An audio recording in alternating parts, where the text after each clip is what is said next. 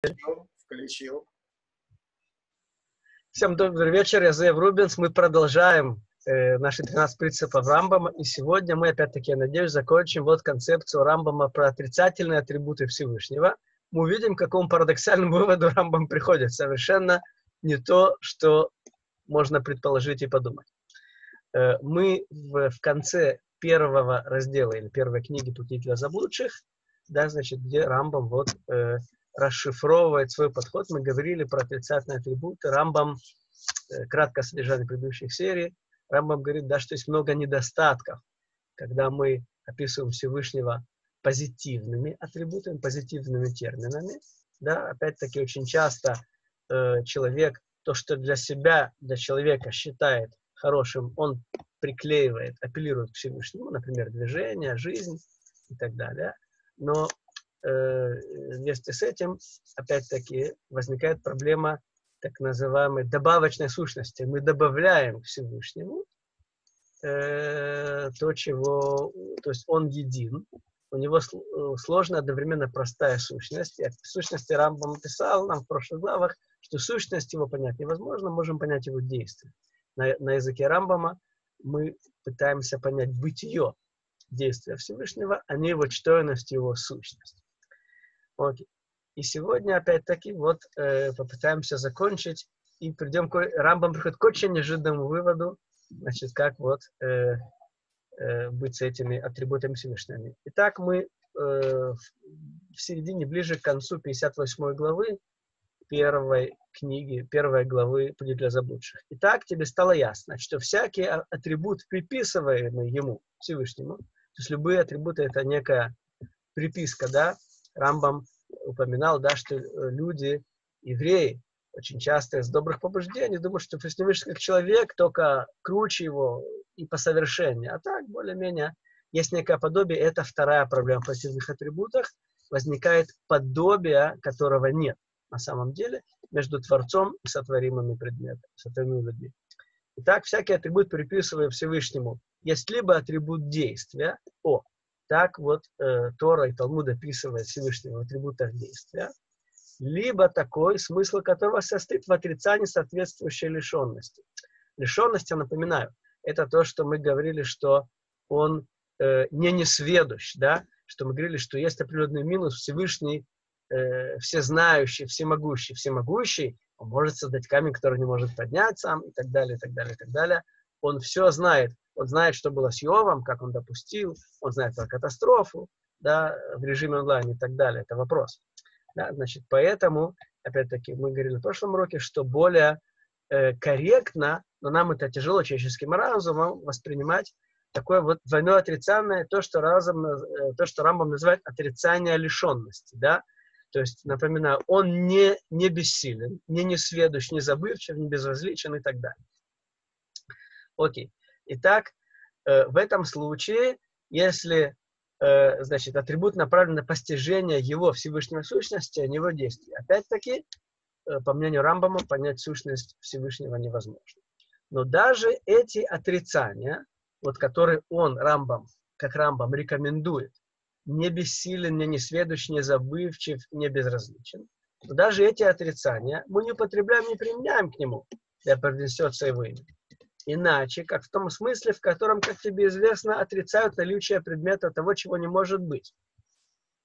Вроде как, мы говорим, стена не видит, да, стена не чувствует и так далее. Ну, в общем, э, перевод на простой человеческий язык, это более верно говорить отрицательным атрибутом про Всевышнего, но нам мы это не воспринимаем. Это отрицательные атрибуты у нас интуитивно э, есть проблема их использовать. Это как будто, опять-таки, хазарон, как будто недостаток у Всевышнего. Э, поэтому, опять-таки, несмотря на вот этот взгляд Рамбама, эта позиция не прижилась. И ни среди мудрецов Талмуда, ни в практическом иудаизме. Тебе же, изучающим этот трактат, э, Мурен Рухи, Пути заблудших, известно, что мы измерили в пядях и в локтях эти небеса. Это вот опять-таки как будто мы измерили, да, мы рассказывали про книгу Дашур Кома, там, что дошли даже до очень интересных вещей, опять-таки, что на самом деле э, все гораздо сложнее. с внешним миром, миром, который вот выше Земли и Луны. Значит, и нашему знанию доступны э, размеры их частей, вот этих вот небесных тел, большая часть совершаемых им движений. Тем не менее, то есть Рама простой пример, астрономические небесные тела. Но тем не менее наш разум оказался совершенно бессилен постичь их сущность. Согласно Рамбаму, есть некая сущность у небесных тел. Он будет про это говорить подробно в начале второй книги «Книги заблудших». Я уже говорил, он пишет напрямую, у небесных тел есть душа. Так утверждает Рамбам, ни больше, ни меньше. И мы не можем понять эту душу. Опять-таки, намеки на эту душу я говорил, есть масса медрашей, там, как Луна и Солнце разговаривают и тому подобное. Да, то есть ведут себя как люди. Это вот из-за этой вот темы, что есть некая сущность небесных тел, которую мы тоже не можем понять. Сегодня, опять-таки, на уровне наших научных знаний, звучит более чем странно это утверждение, что у небесных тел есть душа, но опять-таки это, во-первых, э, уровень тогдашнего э, знания науки, который был э, в очень раннем средневековье Рамбами. Во-вторых, опять-таки, эта вещь не э, галактически обязывающая, да, то есть не Рамбам, а не нас с вами. Опять-таки, это его взгляд, э, очень интересный. Опять-таки, мы есть на что опираться. Да, опять-таки, Медраши, третий уровень, Драж, Кабала и так далее. Но опять-таки, практических э, следствий этого очень мало, поэтому оставим это как есть. Рамбам возьмем просто его некую идею, что даже э, мир небесных тел, мир астрономических небесных тел, мы постигаем размеры, да, то есть сегодня, опять-таки, да, мы постигли расстояние в световых годах, телескоп Хаббла и так далее, но, тем не менее, э, сущность э, этих небесных тел мы не можем постичь на самом деле. Оставим в сторону, есть там душа или нет. Э, действительно, даже простой вопрос, если, если жизнь на Марсе, недавно выяснилось, что есть примитивная какая-то жизнь на уровне клеток, и вроде как Марс близок к нам, одна из самых близких небесных тел, что же говорит там про более дальние планеты, там, про Сатурн, Юпитер, там, звезды и так далее. Поэтому действительно даже с нашим большим, огромным э, знанием космоса, галактики и Вселенной, опять-таки, мы твердо знаем, как говорил Сократ, что мы не знаем. Да, даже на уровне простого знания, простых размеров, что же говорит про более сущностные вещи. Да? Поэтому как, теперь сделайте кальва хомер, теперь сделайте правила тем более, если Рама говорил про небесно-астрономические тела, тем более Всевышний. Да?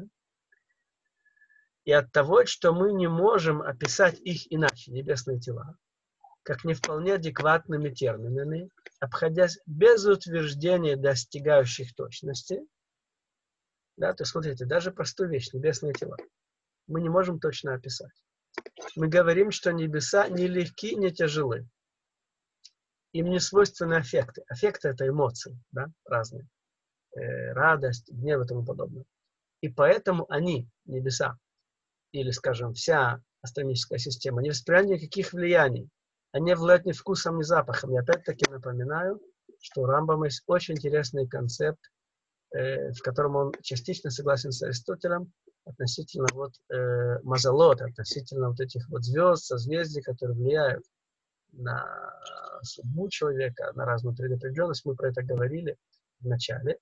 Поэтому под, под ними он описывает и небесные тела, и мазолот, вот эти вот звезды, созвездия, звезда, под которой родился человек, влияние на судьбу и так далее. Все это вместе, да? То есть, что вот эти, это вот каждая звезде своего человека, у нее нет аффектов, нет эмоций, нет ни вкуса, ни запаха, и другие подобные суждения не работают. Вот этих мазолот всех созвездий. Все это наше отношение этим небесным телам вызвано нашим неведением относительно этой материи. Да, что мы по-настоящему не знаем суть э, астрономических небесных тел. Мы знаем их название, мы знаем, когда Марс, когда Венера, когда Луна появляются на небе. Мы знаем немало, да, календарь и тому подобное. Тем не менее, суть этих небесных тел мы не знаем. И это, это мнение Рамбама и тогда, и сегодня действительно таки верно. В таком же положении, то есть здесь есть параллель, теперь переводим мостик на Всевышний. В таком же положении окажутся наши разумы, каждого отдельного человека, когда он возжелает постичь того, кто свободен от всякой материи. Всевышний. И просто абсолютно простотой. Вот это вот просто абсолютно простотой есть наша проблема. Любые вот атрибуты, они добавляют некие сущности Всевышнего. Просто абсолютной простотой, необходимо сущего, Рамбам про это говорил, что необходимо для поддержания нашего мира в порядке, в хаосе, у которого нет причины, чьей совершенной сущности не сопутствует ничего добавочного. Да, то есть наша основная проблема в описании Всевышнего, мы добавляем к нему э, самые разные вещи. И таким образом мы не можем постичь ничего, кроме его бытия, кроме его действий. Кроме того, что он есть сущий, которому нельзя уподобить ничего из тех сущих, которому дал существование, нам. У которого никаким образом нет ничего общего с ними. У Всевышнего нет ничего общего с нами, с сотворенными. Которое не есть он. Да, то есть, опять-таки, Всевышний не творит других Всевышних, мы про это говорили, отношение которого к миру можно уподобить отношению корм, кормчего к управляющему кораблю. Это э, знаменитая метафора, она присутствует у наших мудрецов, Рамбам ее использует, она присутствует очень ярко, например, э, в одном из приютов на, на Роша Шана, когда, значит, мы говорим «Кена нахну беатха», мы в твоей руке, Значит, дальше, значит, Всевышний описывается самыми разными эпитетами, например, там, как э, стеклоду, который хочет, делает из стекла, надувает так, хочет по-другому, хочет создает кувшин, хочет разрушает. Да, значит, и, то, и там, значит, один из, э, э, одна из параллелей, значит, в этом пиюте, в, этом стихе молитвы на Кипур, значит, что ты значит, как, э, как капитан корабля. Значит, хочешь, держишь штурвал в своих руках, хочешь, отпускаешь. Да? Значит, отпускаешь это вот на волю вот этих вот всех мазолот, созвездий, звезд, планет и так далее. И поэтому, значит, мы просим тебя, Барашнян Кипур, да, значит, что не отпускай наш корабль, наш мир, нас на, на волю судьбы, да, на волю всех этих звезд и мазолот, управляемый на, напрямую. Не отпускай штурвал. Да? Поэтому вот, этот вот, э, вот эта метафора, что он как кормчик, как капитан корабля, который управляет кораблем э, через штурвал и так далее, вот Рамбам тоже использует эту метафору. В дальнейшем разъясним этот вопрос более подробно э, во второй главе. Сори, в конце первого. Да вославится тот Всевышний, кто, возрев на, са, на самость которого, на суть которого разумы наши человеческие обращают свое постижение в немощь. То есть наше постижение, асага на иврите, э, на языке Кабалы есть такое выражение Баля Асага, человек, который может и уже что-то понял из вот божественных наук. Да? То есть, я объясню, есть э, некое простое знание. Человек знает Тору, пророка, да, то есть э, это знание есть там, да, школьники учатся, дети там в детском саду учатся. Но истинное понимание, как вещи функционируют, это абсолютно что-то другое. Это несколько ступеней выше. И поэтому, э, значит, в Кабале и в хасидизме есть такой вот термин Баля Сага, человек, который понимает, может быть, не все, но определенные вещи он уже понял или он способен, находится на таком уровне познания божественности, что он способен что-то по-настоящему понимать. Поэтому основные разумы простых людей, да, они вот э, все их постижения это немощь да, по сравнению и со Всевышним, и с такими вот продвинутыми людьми. И эти люди, посмотрев на порождение деяния его. Порождение его деяний – это вот э, э, причинно-следственная связь, когда одно э, порождает другое, и это вот э, та самая божественная мудрость, это то, что мы говорим утром каждый день. Значит, есть э, в молитве, есть тоже два, значит, стиха, значит, один Адон Олам, а другой Игдаль. Они, значит, похожи э, в смысле философском, в смысле идей. Там закодированы 13 принципов веры Рамбама настолько, что в сефардской, значит, версии, значит, Ашкеназа последняя строчка отсутствует, значит, «Эле шоршсри эйкарея муна» Рамбам. То есть сефарды, значит, поют в шаббат. Это 13 принципов веры, которые, значит, вот Рамбам нам передал. Э, во втором из них, в Пьюте Игдаль. И там, значит, э, фигурирует э, такое, значит, вырождение, значит, что знающий конец изначала. То есть знающий конец изначала – это вот породивший порождение, причинно-следственную связь, там, опять-таки, есть э, так объясняющие э, раввины эволюции. Да, например, эволюцию Чарльза Дарвина, да, значит, порождение видов, да, поэтому сам Чарльз Дарвин, кстати, был близок к подобному объяснению, он понимал проблему, которая вызвана его книгой, и он сам в ней изложил, он был американский священник, он написал, что его ответ на теологическую проблему, что Бог породил эволюцию, он стоял в начале. Такого ответ Дарвина. В любом случае, вот это вот порождение деяния его, это вот логическая цепочка от самого-самого начала – от, от большого взрыва, говоря сегодняшним научным языком, до сегодняшних дней и даже до Мессии, и даже после. Okay? Это вот порождение деяния его. Мы обычно, опять-таки, э, в концепции, да, что мир создан для меня, так, э, так говорит Мидрашаба, в смысле человек.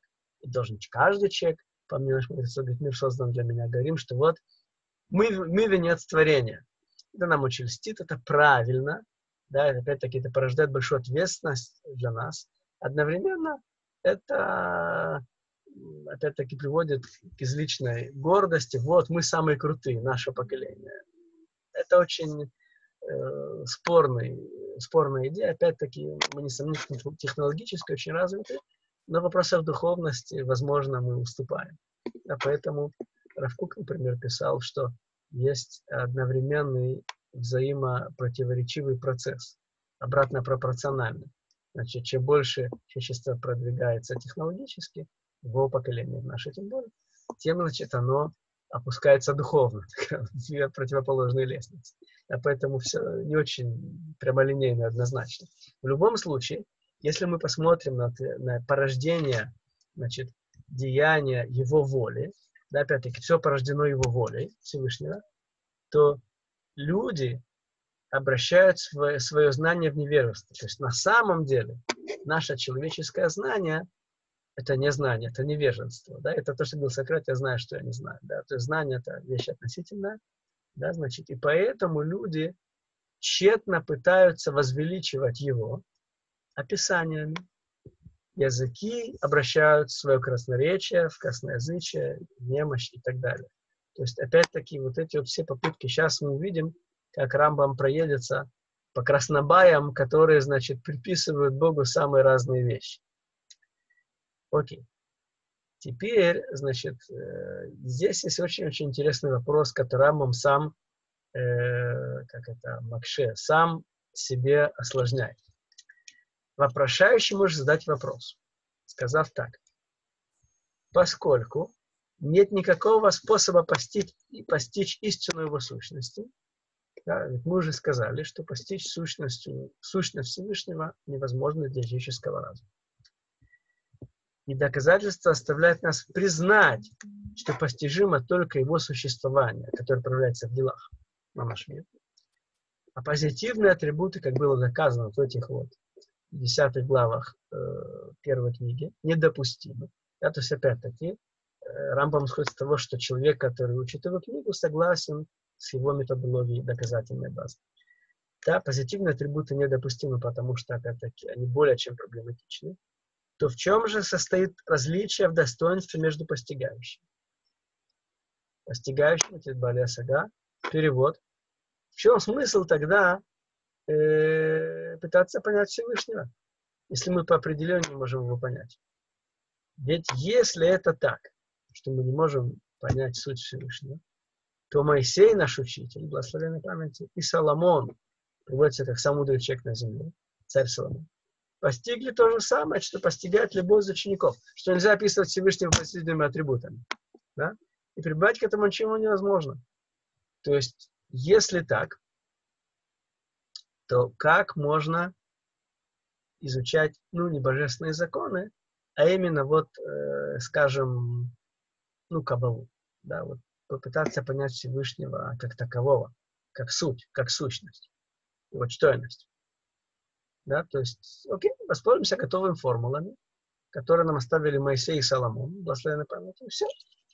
И закрыли книжки. В этом вопрос. Да? То есть, как бы, человек может отчаяться, да, вот это вот огромная разница между человеком и Всевышним.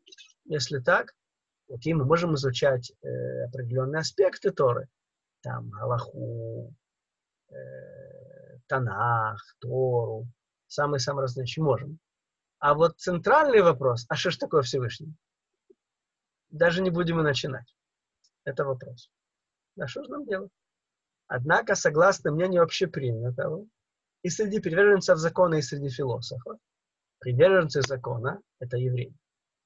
Философы – это нееврейские философы. Да? То есть, согласно общепринятому мнению и среди евреев, и среди неевреев, здесь, опять-таки, в скобках только Равкапах замечает, что Рамбам ведь э, довольно иронично, мягко говоря, он очень критично относится к общепринятому мнению. Мы это видели, да?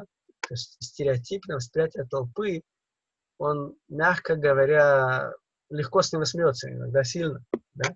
Почему же здесь он апеллирует к общепринятому мнению, которое он, как правило, не любит? Ответ, что это такая вот методика, которую Аристотель э, использует в, э, в своих книгах, например, о небе. И поэтому это такое э, дополнительная помощь в доказательстве. Да? То есть это не основа, опять-таки, Рамбам отрицает общепринятые мнения. Они, там масса заблуждений, стереотипов. Как у евреев, так и у неевреев, мы это видели. Да? Но иногда, как на начальном этапе логической цепочки размышлений, в данном случае он это использует.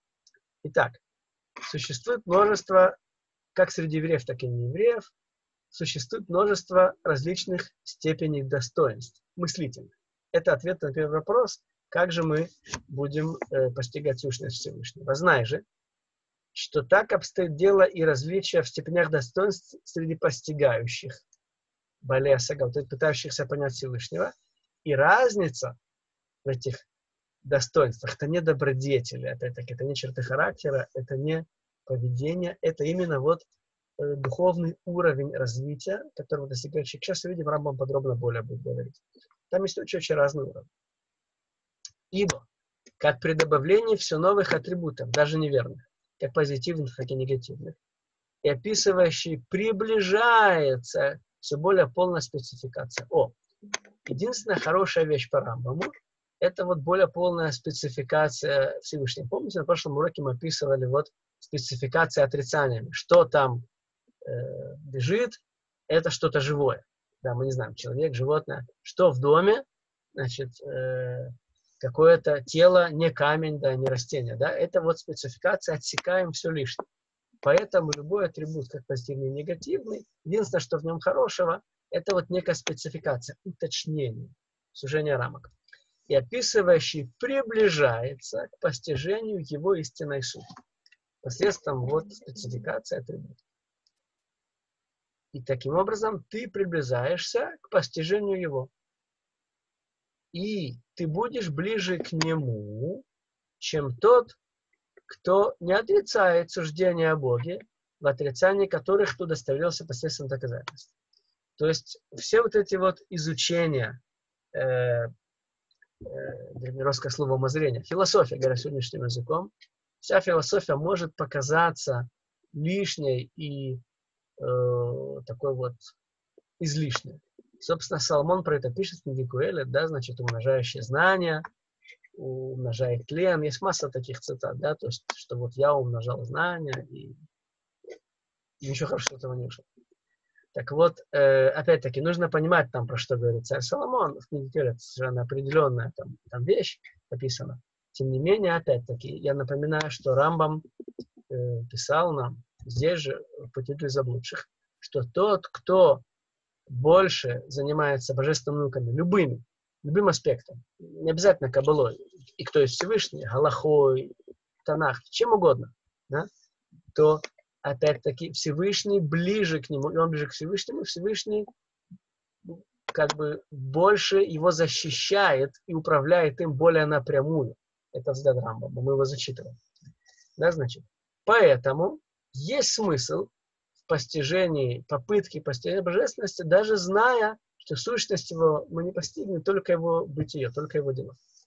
Поэтому бывает так, что какой-либо человек несколько лет трудился, стараясь понять некую науку. Любую науку. Под наукой понимается доказательная наука. Э, да? исследовал истинность ее постулатов, опять-таки, один за другим, чтобы убедиться в ее достоверности. А вывод из всей этой науки будет исключение из представления о Боге некоторых аспектов. То есть человек думал, что Бог так-то и так-то, научился несколько лет, выяснилось, все, что он предлагал, думал, ничего подобного, все наоборот. Возникает вопрос, э, зачем тогда учиться, да, умножающий знания умножает там скорбь, да, по мнению Куэлита, царя Соломона. Да, то есть тут изначально э, есть некое разочарование. Скажем так, наш этот изучающий, который несколько лет трудился, трудился, реально вкладывал свои силы, интеллект. Э, то есть э, человек, скажем так, он понял, что не, он, он не понял, что да относительно Всевышнего. И в этом, опять-таки, вот э, разочарование. Да? Значит, другому же, кто пренебрегает умозрением, кто пренебрегает философией. Я говорил, что в сегодняшнем иудаизме и тогда, в эпоху Рамбама, был подход, который говорил, что не нужно учить философию. Ни классическую, ни еврейскую, там, Сократ, Платон, Аристотель, и не еврейскую философию. Поэтому Рамбама э, вот, не очень э, воспринимали так, как он был аристотелец, якобинец, революционер, так его воспринимали определенные круги в еврейском мире. Да? Итак, другому, кто пренебрегает философией, то есть он изначально не вкладывает, он считает, что это лишнее, ненужное, запрещенное, как хотите. То же положение не представляется доказанным, то есть вот эти вот философские постулаты, которые Рамбам говорит, может доказать, он этот вот, который изучал философию, испытывает сомнения по этому поводу, по поводу божественной сущности, не зная, наличествует ли у Бога тот или иной аспект или нет. О, здесь опять-таки Рамбам недвусмысленно говорит, что по его мнению нужно учить философию. Более того, в каком-то плане он смешивает сознательно или не разделяет еврейскую, еврейскую, нееврейскую философию. Он конечно, разделяет. Он, конечно, не согласен с выводом греческой философии, который противоречит Торе, он про это говорил и писал. Одновременно, опять-таки, он говорил, что я могу вам построить интеллектуальную концепцию, которая даже при идее, что мир был вечен, я примирю взглядами Торы, что есть Всевышний, нужно соблюдать его Тору. В общем, Рамбам нужно учить философию, умозрение. Так. Третий из тех, чей разум слеп, это вот э, классический представитель общепринятых мнений, такая толпа, простой человек, будут утверждать то, то отрицание чего было доказано. Да, то есть есть люди, которые пребывают в заблуждениях относительно божественности. Опять-таки, неважно, евреи, не евреи. Они э, убеждены в абсолютно неправильных вещах. Например, я докажу тебе, что он, Всевышний, не телесен, нематериальный. А некто другой будет сомневаться в этом. Кто у нас сомневается? Два предложения назад. А тот, кто не учит философию. Да? Тот, кто говорит, это умножающие знания, все, нехорошо. Нужно только Галаху и никаких философий. Итак, я докажу тебе, что Бог не телесен. Некто другой будет в этом сомневаться, не зная, телесен он или нет. Третий же человек будет категорически утверждать, что он телесен. О, это человек из простых общепринятых мнений, да, которые говорят, что был как человек, только покруче и по совершению. И он с этой верой предстанет перед Богом после 120. Итак, у нас есть три человека. Один, который идет по Рамбаму, он занимается изучением мировоззрения, философии. Другой не занимается, он изучает другие аспекты божественных наук, и поэтому у него есть сомнения в тех или иных аспектах. А третий вообще ничего не учит, он там простой человек, неважно, мусульман, еврей, и у него абсолютно невообразимые ошибки в вере, и с этим он после 120 поднимется Всевышнему на небо. Сколь же велико различие между этими тремя людьми? Это опять-таки ответ на вопрос, да, что, что же нам делать? Мы не можем постичь суть Всевышнего, сущность Всевышнего. Это ответ вот на вопрос в начале 59 года. Первый, несомненно, близок к Богу. Тот, кто занимается умозрением, несмотря на все трудности, несмотря на то, что он тратит на силы много лет, и через пару лет он поймет, что то, что он думал неверно, что верно он еще не поймет. Первый, несомненно, близок к Богу. Второй, который сомневается, так как он не учит умозрение философию, да, э, далек от него, далек. Человек, который изучает иудаизм, изучает Талмуд, но определенную часть э, познания Всевышнего человек опускает и тем самым отдаляет себя от Всевышнего и от его ажгахи, от его божественного руководства миром. А третий, еще дальше, с третьим все понятно. Его просто он думает, что Бог телесен, Бог как человек, только чуть покруче. Поэт, подобно этому, допустим, что четвертому, о, есть еще четвертый, есть еще более крутой уровень, известно на основании доказательств невозможность наличия у него, у Всевышнего аффекта. О, есть человек, который не просто изучает философию умозрения, а который несколько лет трудился, и он понял, что у Всевышнего нет эмоций. Это вот то, что написано, Всевышний радуется, огорчается, расстроен, придумал, что создал мир, навел потоп. Да, то есть мы все говорили, да, что у Всевышнего нет эмоций. На языке Рамба у него нет аффекта. У него нет аффекта, да превознесется он. А первый, который, опять-таки, мы сказали, изучает умозрение, изучает философию, не обладает таким доказательным знанием. Он еще не дошел до этого он изучает философию, изучает умозрение, до этого уровня доказательств еще не достиг, еще не прошло их лет. Это четвертое, несомненно, ближе к Всевышнему, чем первый. О как. Таким образом, опять-таки, мы видим, как Рамба, великий кодификатор, он постоянно вот э, в Мишне Тора, он формулирует, что выше, что ниже. Здесь он описывает то же самое словами. Да? Итак, у нас есть самый низший уровень, это простые люди, которые просто выдумывают вещи про Всевышнего, то, что удобно или нравится, или хочется, чего вообще в Томе нет. Например, что Бог телесен, есть другие заблуждения. Это, опять-таки, тут даже не о чем и говорить. Есть люди религиозные, которые изучают религиозные законы, но философию умозрения не изучают, э, и поэтому у них есть сомнения в вере. Сомнения в вере – это очень интересная тема. Есть третьи, которые, опять-таки, выше вторых, которые занимаются музеем, изучают философию, и они близки к Всевышнему. Есть четвертые люди, которые не просто изучают философию, они даже знают на уровне доказательств. То есть им доказано, и они могут как-то понять это доказательство, что у Бога нет аффектов, нет эмоций. Другими словами, эти вот антропоморфизмы, да, это метафора. То есть человек реально это не просто знает, понимает доказательную базу, они еще ближе к Всевышнему, это четвертый. И так всякий раз, если найдется индивидуум, аподиктически бдишь невозможности приписать произнесен многочисленные вещи. Аподиктически это неопромежимо доказательно. Не просто есть доказательства. Иногда бывает, что одну вещь можно доказать разными путями. Одно доказательство легкое, другое сложное, одно короткое, другое длинное. И мы видим, что Рамбам не все доказательства воспринимает.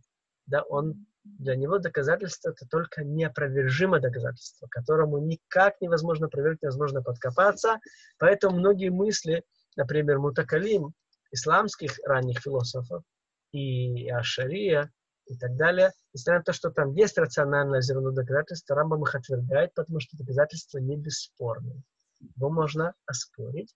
Поэтому это не абсолютное доказательство. Это определенное доказательство. На определенного человека оно сработает, а на продвинутого, крутого не сработает. Человек найдет возражение. И тогда что? Вся вера рухнет. Поэтому для Рамбама доказательства, они вот должны быть аподиктическими, то есть обладать стопроцентной доказательной базой, однозначно, как говорится, железная как стенка, да? Итак, если вот есть такой человек, который абсолютно убедился в невозможности приписать Всевышнему многочисленные вещи, которые нам, людям, представляются возможным. Мы радуемся, мы огорчены, мы сожалеем о чем-то. Да, если бы мы знали заранее, что будет, мы поступали бы по-другому. То есть мы, грубо говоря, свои эмоции и свои познания в жизни перекладываем Всевышнего. Так и Всевышний создал человека, потом воскорбил сердце своем, так люди воспринимают эту фразу, созда, поэтому навел потоп и так далее, и так далее. Опять-таки, это классические такие вот понятия библейской критики. Очень часто разные протестантские э, священники и деканы оперируют такими вот э, доказательствами в кавычках, да, поэтому Всевышний выходит там человеком, да, который изначально не знал, что будет относительно близко. Да, то такой человек, несомненно, более совершенен, чем мы. Да? То есть этот вот человек, который не просто занимается умозрением философии, не просто пытается постичь суть Всевышнего, зная, что она невозможна на самом деле, пытается постичь ее на уровне аподиктическом, на уровне абсолютного доказательства, способен его понять по-настоящему, это Баля Сага. Это человек, который понимает, вот как э, Бог руководит миром в той или иной степени. Этот человек, он вот совершенен, более совершенен, чем мы, обыкновенные люди. Рабам себя, кстати, относят к обыкновенным людям, как это странно звучит из его книги. Поэтому, опять-таки, ответ вот человеку, который сомневается, а что же нам делать, если невозможно постичь суть, суть Всевышнего? Ответ все равно нужно пытаться его изучать. Поэтому Каббала, несомненно, знает, что невозможно постичь суть Всевышнего. Тем не менее, она пытается сделать в том степени, даже если вот э, разные книги на уровне там э, Шуркома, которые, да, значит, троллит людей, которые воспринимают буквально самые разные вещи. Поэтому опять-таки по Рамбаму, э, важен не только э, конечный результат, а важны также промежуточные результаты. Вот эти вот э, разные ступени знания. Вот это вот четвертая ступень, да, что человек знает, что у Бога нет эффекта, нет эмоций. Это уже очень-очень крутая ступень. Или, например, пятая ступень, которая записывает, что человек понимает абсолютно, абсолютно понимает доказательства что у превознесенного нет многочисленных аспектов, которые мы ему приписываем, как позитивных, так и негативных. Да? Это вообще очень-очень крутой уровень развития. Поэтому интеллектуального. Это вот осага, понятие божественности. И поэтому даже вот эти промежуточные результаты, которые еще не гарантируют конечного, полного знания всего и вся, тем не менее, они сами по себе достаточно важны. И они награда этому человеку, что он близко к Всевышнему, Всевышний близко к нему, и больше им занимается, и Ашгаха Пратит больше работает, и больше вас спасает и защищает. Да? Значит, поэтому это вот ответ Рамбама к вопросу, который спросил человек, если мы можем постичь сущность Всевышнего, зачем тогда даже начинаться? Дабы учить э, другие стороны Торы, ответ нет. Нужно учить и центральный вопрос. Что же такое Всевышний? Итак, тебе было разъяснено, что всякий раз, когда ты аподиктически, абсолютно, познаешь отрицание, отрицательные атрибуты Всевышнего, что он не, вот эти вот спецификации, отсечения лишнего, приписывая отрицание э, каждой, приписывая ему вещи, ты становишься совершеннее. О как! Каждый раз, когда мы что-то понимаем по Всевышнего, по-настоящему понимаем, мне нам кажется, а по-настоящему, потратив годы жизни, мы становимся совершеннее. Потрясающе. Да? И всякий раз, когда ты приписываешь ему, Всевышнему, что-то дополнительное к его сущности, ты становишься одним из уподобляющихся вот этим вот средним, э, среднестатистическим людям, с общепринятыми мнениями, стереотипами и, удаляешься от познания в истинной реальности. Таким образом, ты удаляешься от познания и его реальности, и удаляешься от него. Да? Поэтому человек, который э, ошибается в изучении божественности, он удаляется от Всевышнего. Это то, что это прямой вывод, который можно отсюда сделать. И именно таким путем подобает приближаться к постижению его. Опять-таки, к постижению его. Не его бытия, не его действий, к постижению его. Да, то есть это вот э, сложно непостижимая задача, тем не менее, по чуть-чуть как-то можно понять. Занимаясь исследованием и изысканием до тех пор, пока не будет познана невозможность всего того, что невозможно для него, но непосредством его сущности и также непосредством мнения, что его аспект — это совершенство. Сейчас увидим, Рамбам отрицает, да, вот само слово совершенство, которое мы принимаем, применяем к Всевышнему. На том основании, что, как ты увидишь, он является совершенным для нас самих. Ибо все совершенства, суть, смысл, некоторые приобретенные свойства. Например, человек выучил там, иностранный язык, английский. Это приобретенное свойство. Человек стал более совершенным, более. Человек выучил еще и французский. Круто. Выучил 5, 8, 10, 12, 20 языков, да, то есть это вот приобретенные свойства, то есть человек становится более-более совершенно, он это приобретает в рамках э, познания. А не все приобретенные свойства присутствуют у всякого, кто обладает свойствами. О, свойствами-то обладает человек. У Всевышнего, как мы уже видели, нет свойств. И поэтому термин совершенства в нашем понятии человеческом. Вот узнаем английский, потом и французский, потом и немецкий потянем. Вообще будет круто. Да? Всевышнему это вот понятие приобретенного совершенства, то, что мы называем человеческое совершенство, просто не имеет никакого отношения. Да? Поэтому иногда есть другой тип совершенства. Говорю, ах, человек родился там, не знаю, красивым. Да, то есть это вот от рождения. Человек ничего не приложил, и это уже вот э, совершенно другой тип совершенства. Но классическое вот совершенство – это суть некое приобретенные свойства, некие приобретенные знания, постижения.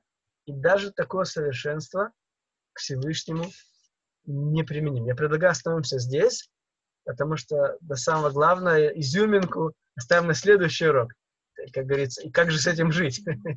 Как же с этим жить? оставим на следующий урок. Вопросы по сегодня?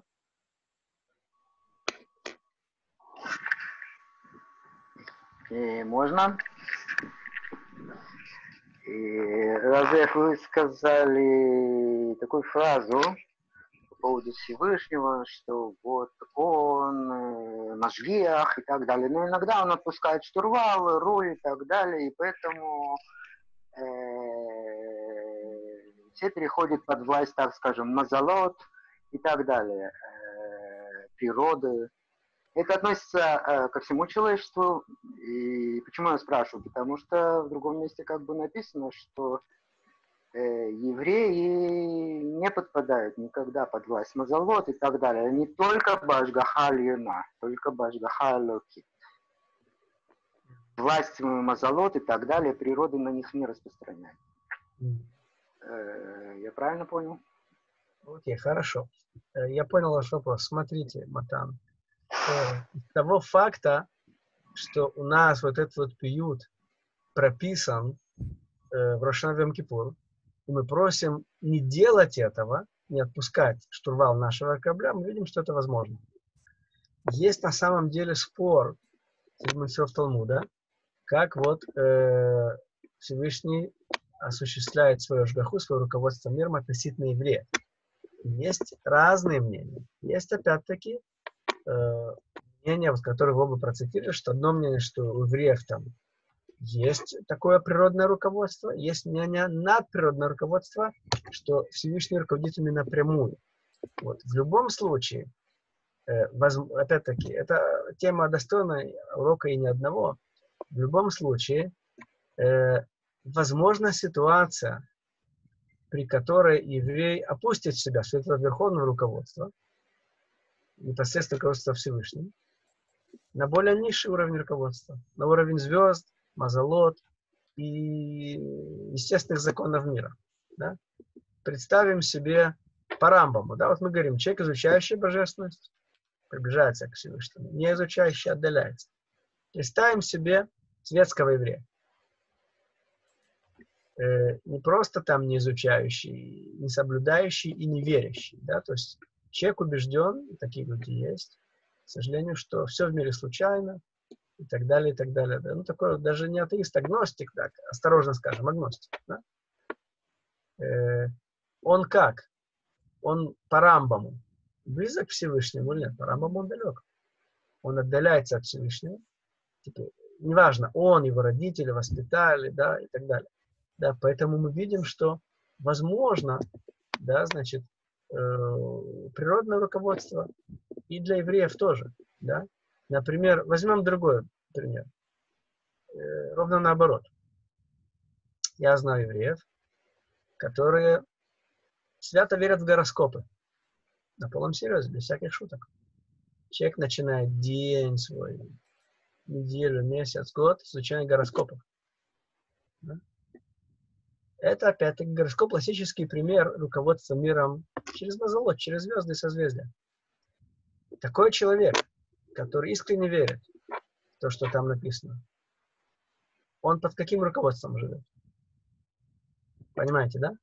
Поэтому что я хочу сказать, что возможны самые разные сценарии да, э, руководства над евреями.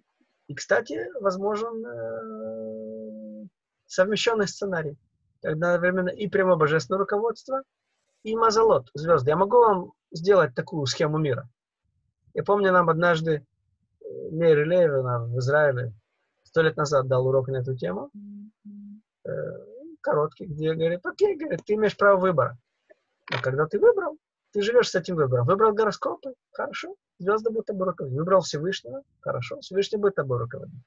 Поэтому сценарий неоднородный для разных евреев, он может быть разностью. И в этом, опять-таки, в каком-то плане проблема, возможность выбора, когда еврей выберет более низшее руководство, чтобы звезды им руководили, а не Всевышний. Окей, okay, если я правильно понял, э, то, что написано, что неважно, еврей соблюдающий, не соблюдающий, занимается гороскопами, не занимается. Написано, что э, Амкадош, окей, коль еврей, это все Башгаха Эльюна. Я, я отвечу вам. Я отвечу, это не факт. Я понял вопрос. Теперь ответ, хорошо? Я правильно понял, что это... это, Нет, это Нет я объясню. То, что вы цитируете, это руководство народа в целом, всего народа, коллектива. А да, каждый частный именно... человек может опускаться на уровень звезды Мазолот. Окей? Вот а, вам понял. как совместить Бедюк. высшее руководство я понял. и гороскопы. Что все евреи, как народ, руководятся Всевышним напрямую, а каждый это вот, пожалуйста. Именно это я имел в виду. Все, я понял, да, спасибо. А вот Можно еще мал- маленький вопросик э, по поводу Пиюта Игдаль.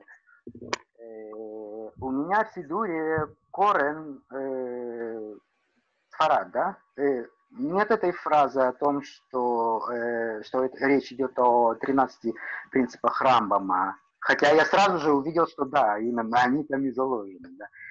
Э, а в каком Сидуре это есть? Я не видел. У меня там несколько Сидуров. У марокканских евреев, там посмотрите. А, понятно, у марокканских евреев. Э, то есть если у вас корен там Ашкеназ или Сфард, то там его Сфард. не будет. Да, у вас Сфард. А если возьмете Сефард или Нусах Мюхат, а, и там Понял. Спасибо.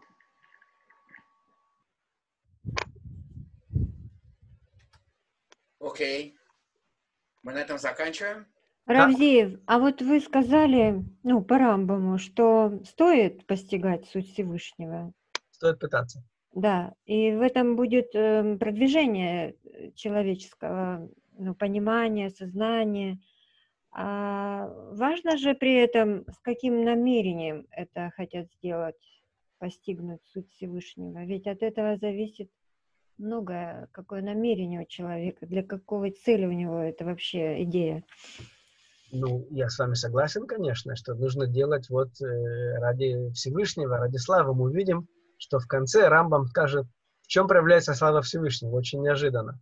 Конечно, опять-таки, это нужно делать не там ради каких-то низменных целей, ради самых высших, конечно, ради вот ради славы Всевышнего, да. Да, здесь очень важна кавана, вот это вот устремление, чистое непорочное, да. Согласен. А вот вы еще говорили про человека, который постиг или пос... ну, осознал, или как это вы сказали? Да-да-да. Понял, понял. А кто знает, что он постиг? Он сам это чувствует или кто-то со ну, стороны? Что Рамбам формулирует, да, то есть, что человек э, не просто знает что-то на уровне логического знания, а человек реально понимает это. Вот опять-таки у нас мало слов в нашем языке. То есть, э, да, это вот человек сам, да, который вот все изучил и который, э, но на самом деле, опять-таки, э, не только человек сам говорит, окей, я знаю, но и другие, опять-таки, люди, опять-таки, все мы знаем, что в любой профессии коллеги свидетельствуют про, про другого, да. Талмуд говорит про пекаря, Эна нахум танхум идут алисато. То есть, что пекарь не свидетельствует про свою э, про свое тесто. Другие должны свидетельствовать. Поэтому человек, который Баля Сага, который вот этот пятый уровень, реально близок к Всевышнему, у него наверняка есть коллеги его же уровня. Кто же да, он на этом уровне. Человек сам про себя не говорит. Поэтому, когда есть сегодня всякие каббалисты, настоящие псевдокаббалисты, все, кто про себя свидетельствует, это не оно. Это не оно. Настоящий каббалист никогда не будет говорить, я знаю кабалу, я каббалист. Мы однажды спросили нашего равина, знает он кабалу? Он улыбнулся, говорит, тоже вам скажет. Это классический ответ. Поэтому, когда человек говорит, что он каббалист, он знает и то, знает все. Это звоночек, да? Это просто признак, что это не оно. Это, это даже не звоночек, это, это простое Колокол. знание, что это не оно, что человек не знает. Колокол. Равзеев, а вот э, человек, который ну, не этот, который осознал и понимает, да, что вы говорите. Как вы его называете? Вот Баль? Э, Баля Сага, пятый вот уровень, который Баля понимает, он достиг глубины да. понимания, да, понимает. А другие, а другие могут же, ну, он как бы очень далеко отошел от своего поколения вперед, и э, нужно время, возможно, чтобы те другие сказали о нем, что да, он осознал. Так бывает, да? Так бывает. Так бы классический пример. Вот я Рамхаль, да? Да, Рамхаль, например. Рабин Ахман из Бреслова, да? да. Значит, э, люди только сегодня понимают увеличение. У него есть книжка э, «Сказки». У него есть там несколько сказок. Они переданы на русский, они в оригинале на идыше, на иврите они. Э, еще 50 лет назад я встречал людей, ну, я не стал 50 лет назад, но это было, это полтора поколения назад, говорили, Рабин Ахман написал глупость. Сказка. Сегодня их изучают, люди делают докторат, там, понимают, там глубокие тайны. Так очень часто бывает, что человек что-то написал и умер, и, и только потом, 100, э, 200, больше лет люди начинают оценивать. Так бывает, так бывает, да.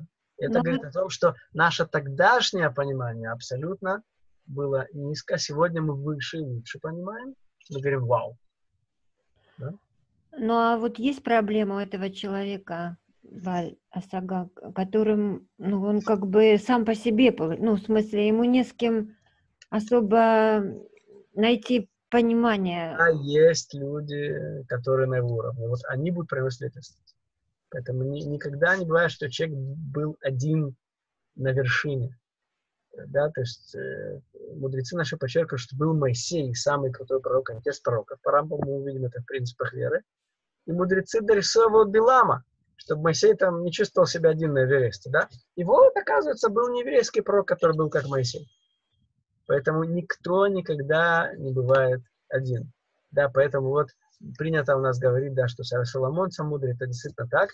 Э, Талмуд спешит нам сообщить, что был Ахитофель, э, советник э, царя Давида. Он был не менее круче, чем Соломон, возможно, еще круче. И так далее, и так далее, и так далее. Поэтому всегда находим, что человек не бывает один, да? Поэтому э, великие пророки, их несколько, это Шаяу, Иеремия, Хескель, да, то есть малые пророки не один. Всегда мы видим, что поэтому даже вот эти вот пары, все зубот, э, с конца второго храма всегда идет два, да, и так далее. Не бывает такого, чтобы кто-то был один и все. Мир в равновесии. То есть у, него есть с кем достойно общаться, да? Сто процентов. М, Ясно. Интересно очень. Good, хорошо, тогда всем спасибо. И следующая у нас неделя, следующая среда, это Эрев Тиша Б'Ав. М, По-моему, на следующий-. Да, э, по-моему, да, это вот э, Тиша Б'Ав. Да. Да, поэтому мы тогда на следующей неделе, 29 не будем. э, Не встретимся 29 июля. По поводу 5 будем на связь с Натаном. Я, возможно, буду в Окей. Поэтому мы, мы, мы сообщим. На следующей неделе РФ Тиша Б'Ав, поэтому... Окей. Если вам Спасибо огромное.